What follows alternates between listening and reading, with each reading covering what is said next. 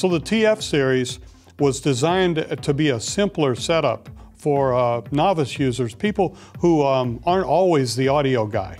Uh, so one of the first things that we did was to be able to um, move all of the inputs up to on stage. We wanted to remove that multi-core snake that uh, so many of you remember from the analog days.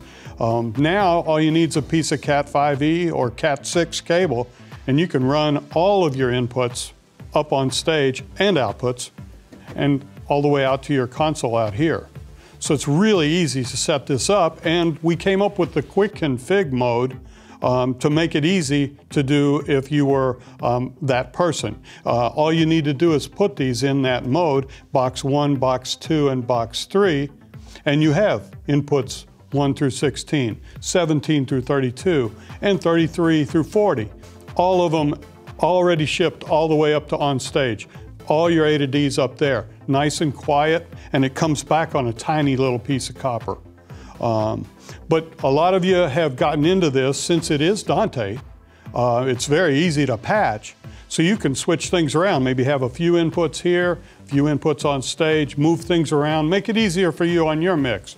Uh, so all you need to do to control or repatch what we've done is to go to Audinate software uh, page at audinate.com and pick up Dante Controller.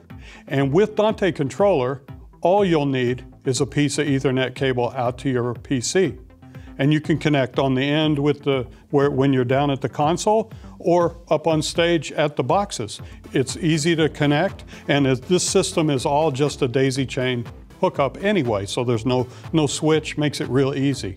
But once you're at this screen, in the Dante patching system from, from the controller, we're gonna wanna uh, disable our quick config in the boxes and the quick config that's built into your console as well, giving you control of everything. So for this one, I'm just gonna turn quick config off on all of them. I'm gonna wait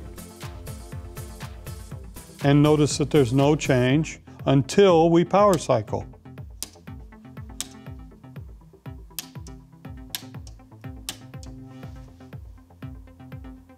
And now you wait for the red lights to go away.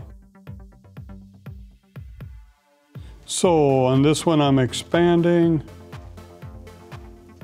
the network so that I can see it better. And then I go down to where the patches are made. And then I change these patches. I'm gonna change this channel to this channel. And I'm gonna change this channel to this channel.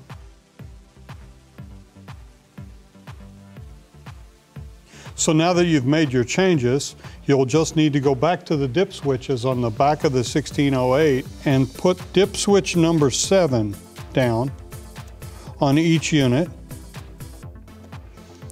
to put it in resume mode, which means it will always come back at the same setting that you're gonna leave it on right now. All you need to do now is power cycle and you're good to go.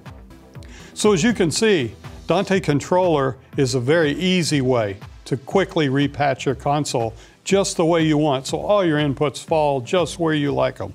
Uh, it's a simple hookup. If you uh, will go to our website at usa.yamaha.com, go to the TF page, you're going to find all of our application guides there and the, the deep dive into this so you can really understand it better. Uh, good luck with it. Have fun.